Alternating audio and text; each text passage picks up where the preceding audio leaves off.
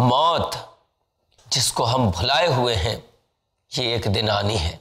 اس سے چاہیں کتنا ہی بھاگ لیا جائے اور کتنا ہی فرار اختیار کر لی جائے، لیکن جب یہ موت آئے گی، تب پتا چلے گا کہ اوفو تب پتا چلے گا کہ یہ کیا، میں جس چیز سے بھاگا کرتا تھا، جو چیز میرے ذہن اور دل و دماغ سے نکل چکی تھی اور دنیا کی چکاچون ترقیوں کے سامنے میں جس کو فراموش کر چکا تھا، وہ تو بالکل سچی ثابت ہوئی۔ اور جس چیز کا مجھ سے وعدہ کیا گیا تھا، وہ بھی بالکل سچے ثابت ہوئے۔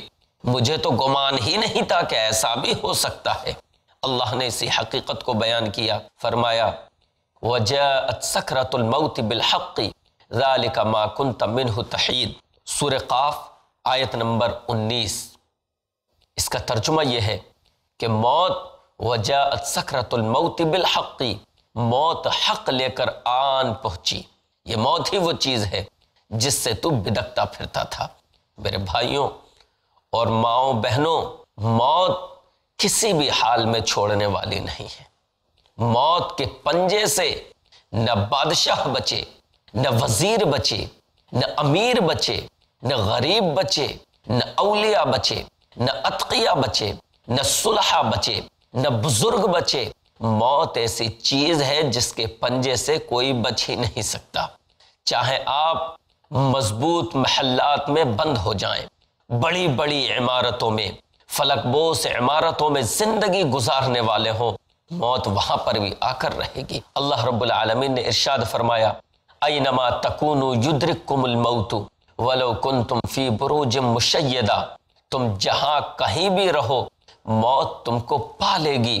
ولو کنتم فی بروج مشیدہ مضبوط قلعوں کے اندر چاہے تم بند کیوں نہ ہو جاؤ، اور مضبوط مضبوط تالے لگا لو، اور دروازوں کو بند کر لو۔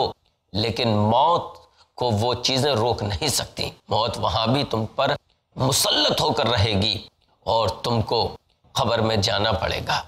میرے بھائیوں، ہم اور آپ ہیں کون؟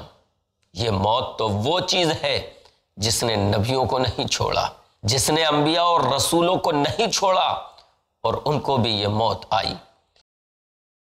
اللہ کے دین کی دعوت اور لوگوں تک پہنچانے کے لیے اس ویڈیو کو ضرور لائک، شیئر، کمنٹ اور سبسکرائب کریں۔ آپ کے اس چینل کو اور بہتر بنانے کے لیے آپ کا ساتھ ضروری ہے۔ پلس ٹی وی بہتر زندگی کے لیے۔ اپنے کیبل یا ڈی ٹی ایچ آپریٹر سے آئی پلس ٹی وی آج ہی ڈیمانڈ کریں۔ I plus T V free to air اور انڈین رجسٹرڈ چینل ہے۔